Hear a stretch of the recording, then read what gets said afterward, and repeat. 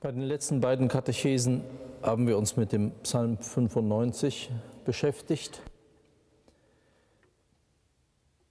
Heute und beim nächsten Mal soll es um einen weiteren Psalm gehen, Psalm 51 oder 50, der sogenannte Miserere-Psalm. Die Katechesen haben den Untertitel Was das Stundengebet bedeutet. Ich denke, es ist am Psalm 95 schon klar geworden, dass es nicht nur um den einzelnen Psalmtext geht, sondern um, um die Art und Weise, wie er verwendet wird und wie er in dem gesamten Kontext des Gebetes steht. Also bei Psalm 95, der das Offizium des Tages in der Regel eröffnet, die Frage dahinter, wer ist der Mensch vor Gott? Was richtet dieser Psalm über meine eigene Existenz aus? Was sagt er über meine Identität als Christ? Wir können im Grunde genommen an, alle, an das gesamte Gefüge des Stundengebetes oder, wenn man lieber sagt, Tagzeitenliturgie, diese Frage stellen. Weil die Anordnung des sogenannten Offiziums oder Stundengebetes immer darauf eine Antwort versucht. Zumindest bei den alten Ordnungen gilt das. Bei den neueren habe ich meine Zweifel. Aber wir wollen uns nicht mit dem Gesamtgefüge befassen, sondern schauen auf einen Psalmtext und auf seine Ausstrahlung. Wenn wir über Psalm 51 reden, müssen wir uns am Beginn oder zu Beginn mit einer biblischen Geschichte befassen. Und ich denke, so viel Zeit muss sein, dass wir diese biblische Geschichte noch einmal anhören. Ich weiß wohl, dass nach dem Verdikt der Benediktsregel diese Geschichte nicht geeignet ist, am Abend gelesen zu werden. Aber nachdem wir nicht so ganz früh schlafen gehen, sollte sie uns nicht allzu sehr durcheinander bringen. Um die Jahreswende, so lesen wir im zweiten Samuel-Buch in Kapitel 11, um die Jahreswende, zu der Zeit, in der die Könige in den Krieg ziehen, schickte David den Joab mit seinen Männern und ganz Israel aus, und sie verwüsteten das Land der Ammoniter und belagerten Rabbah. David selbst aber blieb in Jerusalem. Als David einmal zur Abendzeit von seinem Lager aufstand und auf dem Flachdach des Königspalastes hin und her ging, sah er von dort aus eine Frau, die badete. Die Frau war sehr schön anzusehen. David schickte jemand hin und erkundigte sich nach ihr. Man sagte ihm, das ist Bathsheba, die Tochter Amiels, die Frau des Hethiters Uriah. Darauf schickte David Boten zu ihr und ließ sie holen. Sie kam zu ihm und er schlief mit ihr. Sie hatte sich gerade von ihrer Unreinheit gereinigt. Dann kehrte sie in ihr Haus zurück. Die Frau war aber schwanger geworden und schickte deshalb zu David und ließ ihm mitteilen, ich bin schwanger. Darauf sandte David einen Boten zu Joab und ließ ihm sagen, schick den Hethiter Uriah zu mir. Und Joab schickte Uriah zu David. Als Uriah zu ihm kam, fragte David, ob es Joab und dem Volk gut gehe und wie es mit dem Kampf stehe. Dann sagte er zu Uriah, geh in dein Haus hinab und wasch dir die Füße. Uriah verließ das Haus des Königs und es wurde ihm ein Geschenk des Königs nachgetragen. Uriah aber legte sich am Tor des Königshauses bei den Knechten seines Herrn nieder und ging nicht in sein Haus hinab. Man berichtete David, Uriah ist nicht in sein Haus hinabgegangen. Darauf sagte David zu Uriah, bist du nicht gerade von einer Reise gekommen? Warum bist du nicht in dein Haus hinuntergegangen? Uriah antwortete David, die Lade und Israel und Juda wohnen in Hütten, und mein Herr Joab und die Knechte meines Herrn lagern auf freiem Feld, da soll ich in mein Haus gehen, um zu essen und zu trinken und bei meiner Frau zu liegen? So wahr du lebst und so wahr deine Seele lebt, das werde ich nicht tun. Darauf sagte David zu Uriah, bleib auch heute noch hier, morgen werde ich dich wegschicken. So blieb Uriah an jenem Tag in Jerusalem am folgenden Tag lud David ihn ein, bei ihm zu essen und zu trinken und machte ihn betrunken. Am Abend aber ging Uriah weg, um sich wieder auf seinem Lager bei den Knechten seines Herrn niederzulegen. Er ging nicht in sein Haus hinab. Am anderen Morgen schrieb David einen Brief an Joab und ließ ihn durch Uriah überbringen. Er schrieb in dem Brief, Stellt Uriah nach vorn, wo der Kampf am heftigsten ist, dann zieht euch von ihm zurück, sodass er getroffen wird und den Tod findet. Joab hatte die Stadt beobachtet und er stellte Uriah an einen Platz, von dem er wusste, dass dort besonders tüchtige Krieger standen. Als dann die Leute aus der Stadt einen Ausfall machten und gegen Joab kämpften, fielen einige vom Volk, das heißt von den Kriegern Davids. Auch der Hethiter Uriah fand den Tod. Joab schickte einen Boten zu David und ließ ihm den Verlauf des Kampfes berichten. Und er befahl dem Boten, wenn du dem König alles über den Verlauf des Kampfes bis zu Ende berichtet hast, und wenn dann der König in Zorn gerät und zu dir sagt, Warum seid ihr beim Kampf so nah an die Stadt herangegangen? Habt ihr nicht gewusst, dass sie von der Mauer herabschießen? Wer hat Abimelech, den Sohn Jerubaals, erschlagen? Hat nicht eine Frau in Tebetz einen Mühlstein von der Mauer auf ihn herabgeworfen, so dass er starb? Warum seid ihr so nah an die Mauer herangegangen? Dann sollst du sagen, auch dein Knecht, der Hethiter Uriah, ist tot. Der Bote ging fort, kam zu David und berichtete ihm alles, was Joab ihm aufgetragen hatte. Der Bote sagte zu David, die Männer waren stärker als wir und waren gegen uns bis aufs freie Feld vorgedrungen. Aber wir drängten sie bis zum Eingang des Tores zurück. Da schossen die Schützen von der Mauer herab auf deine Knechte, so dass einige von den Knechten des Königs starben. Auch dein Knecht, der Hethiter Uriah, ist tot. Da sagte David zu dem Boten, so sollst du zu Joab sagen, betrachte die Sache nicht als so schlimm, denn das Schwert frisst bald hier, bald dort. Setz den Kampf gegen die Stadt mutig fort und zerstöre sie. So sollst du ihm Mut machen. Als die Frau Urias hörte, dass ihr Mann Uriah tot war, hielt sie für ihren Gemahl die Totenklage. Sobald die Trauerzeit vorüber war, ließ David sie zu sich in sein Haus holen. Sie wurde seine Frau und gebar ihm einen Sohn. Dem Herrn aber missfiel, was David getan hatte. Darum schickte der Herr den Nathan zu David. Dieser ging zu David und sagte zu ihm, in der Stadt lebten einst zwei Männer. Der eine war reich, der andere arm. Der Reiche besaß sehr viele Schafe und Rinder, der Arme aber besaß nichts außer einem einzigen kleinen Lamm, das er gekauft hatte. Er zog es auf und es wurde bei ihm zusammen mit seinen Kindern groß. Es aß von seinem Stück Brot und es trank aus seinem Becher. In seinem Schoß lag es und war für ihn wie eine Tochter. Da kam ein Besucher zu dem reichen Mann und er brachte es nicht über sich, eines von seinen Schafen oder Rindern zu nehmen, um es für den zuzubereiten, der zu ihm gekommen war. Darum nahm er dem Armen das Lamm weg und bereitete es für den Mann zu, der zu ihm gekommen war.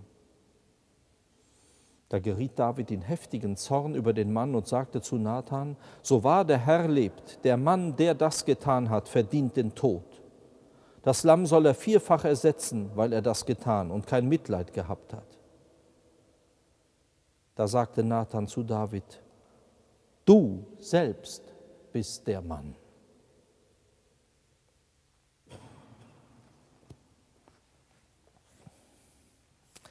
Wenn wir morgens diesen Psalm beten, dann haben wir in der Regel erst bei Vers 3 den Beginn.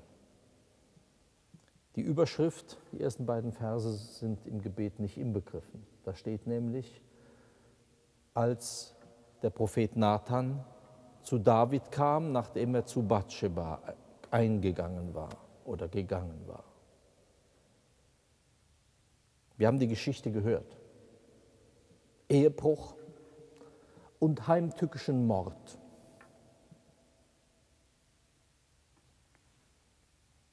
Was haben wir denn damit zu tun?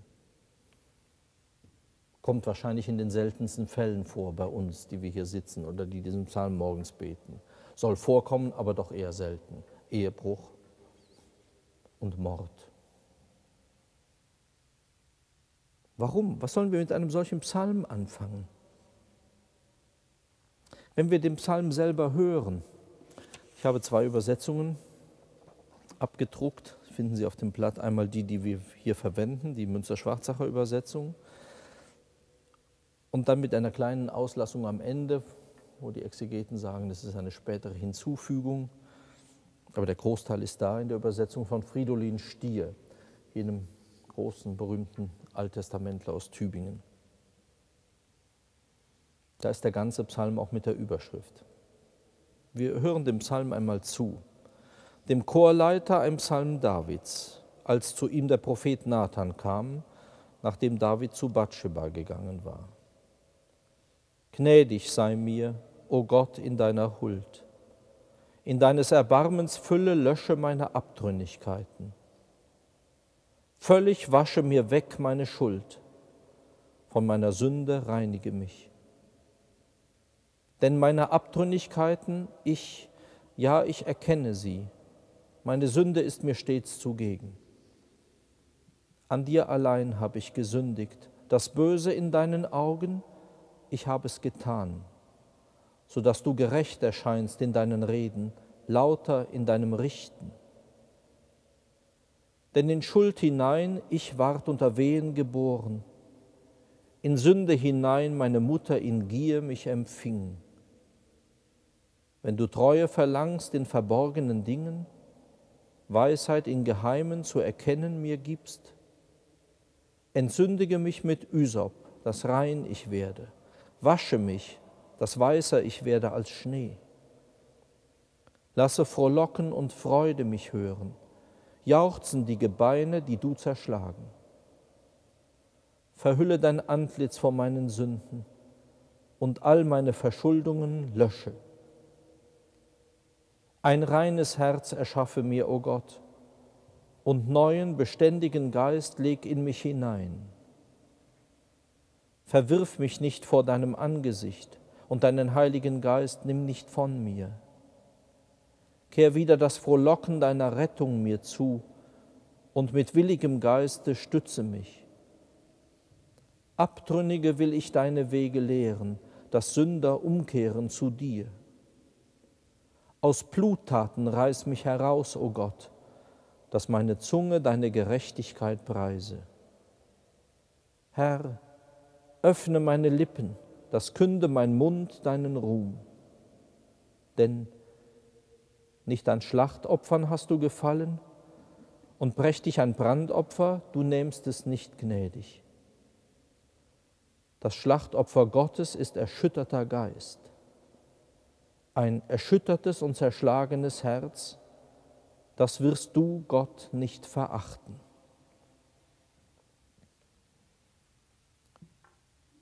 Das ist das große Gebet, das David nach dieser Geschichte spricht. Und das zweite Samuel-Buch weiß zu berichten, dass dieses Gebet Gott wohlgefällig war. Und dass bei aller Bestrafung das Kind stirbt, dass bei aller Bestrafung der Prophet Nathan dem König David ausrichten kann, deine Sünde, der Herr hat dir deine Sünde vergeben. Wenn man die, die Abfolge im zweiten Samuel-Buch liest, wenn wir das als Lesung hören, ist es ohnehin ein bisschen gekürzt. Und dann geht das sehr schnell. David Buße und dann ist seine Sünde vergeben. Man muss sozusagen diesen Psalm dazwischen schalten mit allem, was er bedeutet. Wir haben die Geschichte gehört, wir haben den Psalm gehört. Ich möchte einen Schritt zurückgehen. Einen Schritt zurückgehen mit einer ganz bestimmten Frage, nämlich der Frage, wie beginnt Gottesdienst? Wir bleiben beim Thema. Aber wie beginnt Gottesdienst? Das scheint eine banale Frage zu sein, ist es aber keineswegs. Darüber nachzudenken ist keine Kleinigkeit, es darzustellen ist keine Kleinigkeit. Und wir haben leider nicht heute Abend, auch beim nächsten Mal nicht die Zeit, weil es uns ja um das Stundengebet und Psalm 51 auch geht, das ganze Panorama abzuschreiten, das der Benediktiner Angelus Häusling in einem sehr tiefgehenden Aufsatz dargelegt hat mit dieser Frage, wie beginnt Gottesdienst? Nur einige kurze Punkte. Wir kennen das Sprichwort, aller Anfang ist schwer. Das gilt auch für den Beginn des Gottesdienstes. Aller Anfang ist schwer. Wir merken das, wenn wir unseren Blick mal ausweiten auf die Messfeier. Da haben wir ein anderes Gefüge als beim Stundengebet. Bei der Messfeier kommt etwas Schwieriges hinzu. Wir haben eine andere Konstellation. In der Messfeier versammelt sich die Gemeinde der Getauften und Gefirmten. Und es tritt hinzu das apostolische Amt. Es kommt von außen. Deshalb gibt es einen Einzug. Der vom Bischof beauftragte Amtsträger oder der Bischof selber tritt zur Gemeinde heran. Und es gibt eine Reihe von Legitimations- und Grußformeln, wie etwa diese Formel, der Herr sei mit euch. Oder die alte Formel, mit der die Eucharistiefeier eigentlich beginnt, Sursum corda, erhebt die Herzen. Das heißt, man muss aus sich heraustreten, um überhaupt diese Feier richtig begehen zu können. Beim Stundengebet oder bei der Tagzeitenliturgie ist es anders. Hier haben wir im Grunde genommen zunächst einmal keine hierarchische Struktur. Wir können noch sagen, der Klerus spielt da keine Rolle. Das ist interessanterweise eine, eine Frucht der liturgischen Reform aus den 70er Jahren, dass es eine, wenn man so will, eine Klerikalisierung des Stundengebetes gibt, in dem der Priester immer aufgefordert ist, die Oration zu sprechen und am Schluss den Segen zu geben. Wir machen das hier nicht, weil es eigentlich unnötig ist. Ich werde jetzt wahrscheinlich gefressen, wenn das jemand hört, aber äh, das Stundengebet hat in sich nicht diese Struktur. Bei der Messe ist das anders, bei der Eucharistiefeier. Ich habe das eben kurz gesagt. Aber auch wenn wir aufs Stundengebet schauen, sehen wir sehr differenzierte Formen des Beginns. Wir kennen etwa gerade hier in der alten gallischen Liturgiefamilie einen Beginn, der eigentlich mit der Messe gleich ist, nämlich die schlichte Anaklese, die Anrufung des Gottesnamens oder des Namens Christi, Kyrie eleison. In seiner liturgischen Ordnung erwähnt Cäsarius von Arl das als Eigenart dieser Gegend, besonders in der Osterzeit. Wir kennen die alte monastische Form, die von Johannes Cassian herkommt, dem Psalmvers Deus in adjutorium meum intende, O Gott, komm mir zu Hilfe, Herr, eile mir zu helfen. Sozusagen die schnörkellose Bitte ist im Kyrie eigentlich noch kürzer, um Anwesenheit des Angerufenen. Wir kennen allerdings am Morgen noch eine andere Form, nämlich den sogenannten Versus Apparitionis. Herr, öffne meine Lippen, damit mein Mund dein Lob verkünde. Der oberflächliche Blick sagt, Versus Apparitionis heißt, die Mönche haben in der Nacht die Klappe gehalten, sie hatten das nächtliche Schweigen, also muss am Morgen sozusagen der Mund wieder entschlüsselt werden. Er wird wieder aufgemacht, dürfen sie wieder sprechen. Das ist eine oberflächliche Beobachtung. Diese oberflächliche Beobachtung hat im Laufe der Geschichte sogar am Abend dann zu einem Versus Conclusionis geführt. Also da wird der Mund verschlossen. Und das geht natürlich auf die Mönchsregeln zurück, aber dieser Vers, der ein Zitat aus Psalm 51 ist, hat eine andere Funktion, als sozusagen nur lediglich das nächtliche Schweigen zu beenden. Man spricht in der Liturgiewissenschaft von einer Prolepse, einer Vorwegnahme. Es ist eine Kurzfassung des Psalms, der dann hinterher als erster Psalm in der Morgenhore eigentlich folgt. Natürlich, wir haben das Invitatorium, wir haben Psalm 95 die letzten beiden Male angeschaut, aber der erste Psalm der Morgenhore ist klassisch, sowohl an den Werktagen wie sogar am Sonntag, dem Herrentag, Psalm 51. Leider hat das die letzte Reform nicht überlebt, diese alte Ordnung. Immerhin bleibt der Psalm 51 besonders, weil er jede Woche also man hat das Psalterium auf vier Wochen gestreckt, so sollte das sein. Das ist in den Texten des Zweiten Vatikanums schon ausgesagt worden. Nicht so viel Text, man muss den Psalter strecken. Bestimmte Texte werden dann durch die Entscheidung Pauls VI. sogar weggelassen. Aber Psalm 51 kommt jeden Freitag in den Laudes vor. Immerhin. Also jede Woche. Aber dadurch, dass er am Freitag vorkommt, bekommt er eine andere Funktion. Er gehört traditionell zu den Bußpsalmen. Ich komme darauf ganz am Ende noch. Aber Psalm 51 ist mehr als ein Bußpsalm.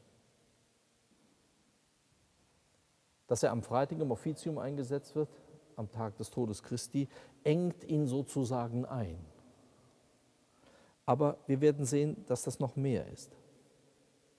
Mit der Frage, wie beginnt Gottesdienst, darauf gibt der Psalm 51 eine Antwort. Wir wissen, dass das schwer ist, wie Gottesdienst beginnt. Wir erfahren es natürlich, weil leider Gottes Stundengebet, Tagzeiten nicht mehr zu unserem normalen Erfahrungsbereich in einer christlichen Gemeinde gehört, anders als noch im Altertum, anders als in der Ostkirche, sind wir vollkommen auf die Messe fixiert oder auf inzwischen derivate Formen der Messe, der sogenannte Wortgottesdienst. Das ist ja sozusagen Messe minus Eucharistiefeier manchmal sogar mit Eucharistie. Es ist sehr fantasielos, was da oft äh, gefeiert wird, weil es sozusagen nur eine, eine minimierte Messe ist. Dabei hat die Kirche so viele andere Ausdrucksformen im Gottesdienst, ja, die, die, äh, die alle inzwischen absterben. Schade. Aber wir sehen natürlich die Schwierigkeit des Beginns des Gottesdienstes, wir sehen es hauptsächlich bei der Messe. Und ich muss selber sagen, wenn ich Zelebrant bin, das ist sehr schwierig anzufangen, weil die, die Liturgiereform gibt uns die Möglichkeit, uns plötzlich zu äußern. Ich bin darüber nicht glücklich. Das, das fängt dann bei persönlichen Statements an und geht über Wünsche und Grüße bis hin zu ganz persönlichen Erlebnisberichten oder dass man vorwegnimmt, was die Gemeinde eigentlich später hören soll. Ich halte das für eine sozusagen eine ganz subtile Form der Entmündigung von Gemeinde, wenn man den Leuten erzählt, weil ich ja den Wissensvorsprung habe, was heute in der Lesung kommt.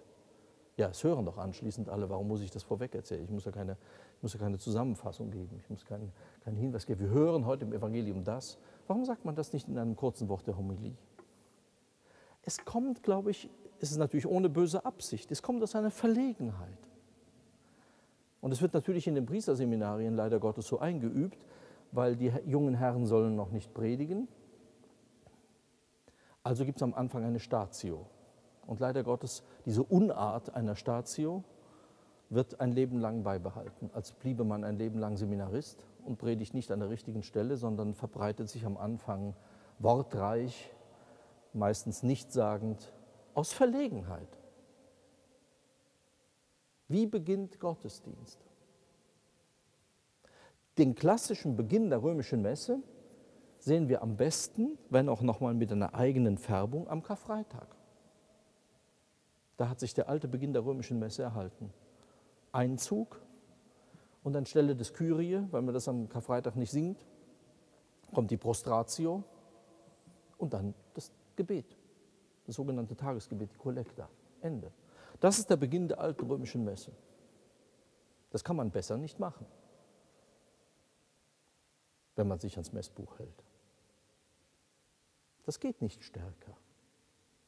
Wie beginnt Gottesdienst? Am Morgen mit der Vorwegnahme, mit diesem Zitat aus Psalm 51. Herr, öffne meine Lippen an allen Tagen und mein Mund wird deinen Lob verkünden und mein Mund wird deinen Ruhm dein Lob verkünden. Damit ist schon der ganze Psalm, steht schon im Raum. Die ganze Situation. Und nochmal die Frage, müssen wir denn so morgens anfangen? Dieses Zeug von Ehebruch und Mord, ist das, ist das denn unsere Situation? Wir sollen uns ja damit identifizieren. Es soll ja unser Wort sein, es soll unser Gebet werden, es soll unsere, unsere Morgenhore sein. Mord und Ehebruch? Ach du großer Gott. Wenn wir eben dem Psalm zugehört haben, merken wir, dass die Geschichte, die wir vorher gehört haben, im Psalm keine Rolle mehr spielt. Ach komm, nimm mir das nicht krumm, dass ich da irgendwie so lüstern war und dass ich mit der Batschebal ein Techtelmechtel hatte. Und so. Das kommt alles überhaupt nicht vor. Das heißt, Der Psalm ist größer als die konkrete Situation. Der Psalm bietet mehr Identifikationsmöglichkeit als diese konkrete Geschichte. Wenn wir einmal hingehen und äh, ich fordere ja immer dazu auf, dass man ein Exemplar der Heiligen Schrift hat, in dem man wirklich arbeitet, mit Buntstiften oder mit sonst irgendetwas. Normalerweise soll man auch mit der Heiligen Schrift, auch mit der gedruckten eigentlich ehrfürchtig umgehen, aber man braucht ein Arbeitsexemplar, wenn man sich mit der Heiligen Schrift beschäftigt. Und wenn Sie das nicht mögen oder wenn Sie es äh, sozusagen, das ist mir zu wertvoll oder ich habe nur so eine ganz teure, dann nehmen Sie wenigstens dieses Blatt und machen sich einmal das Vergnügen und unterstreichen oder ringeln ein oder markieren alle positiv konnotierten Worte in diesem Psalm. Alle, die positiv sind. Ja, wie Güte, gnädig, Erbarmen. Ja, gibt, wenn Sie das durchgehen, dann wird der Text ganz bunt und Sie merken plötzlich, hm, also, also nur so als Bußpsalm, hm, hat auch, der Psalm hat auch ein anderes Gesicht. Ja? Er zeigt das Gesicht des Erbarmens Gottes. Das müsste eigentlich der Psalm für das heilige Jahr der Barmherzigkeit sein. Und zwar eben nicht nur als Bußpsalm. Dass wir ein Kreuz machen auf den Mund, wenn wir singen, Herr, öffne meine Lippen, ist eine, sozusagen eine, eine, ein Vollzug des Ostergedächtnisses, des Pascha-Mysteriums. Tod und Auferstehung Christi. Herr, öffne meine Lippen. Ich bin in den Sünden tot, wie Paulus sagt, aber ich bin eben aus diesem Sündendreck durch das Erbarmen Gottes herausgerissen. Immer wenn wir ein Kreuz machen, ist das eine Art Taufgedächtnis. Die Signatur, die wir tragen seit der Taufe. Wenn die Mönche zum Friedhof ziehen, den Leichnam in ihrer Mitte, singen sie auch ein Zitat aus diesem Psalm. Et exultabunt ossa humiliata, eine ganz schöne, ganz einfache Antiphon mit diesem Psalm. Aber auch nicht als Bußpsalm, sondern als Ausdruck der Auferstehungshoffnung. Und die Gebeine, die du zu erschlagen hast, werden jubeln. Mitten in diesem Psalm.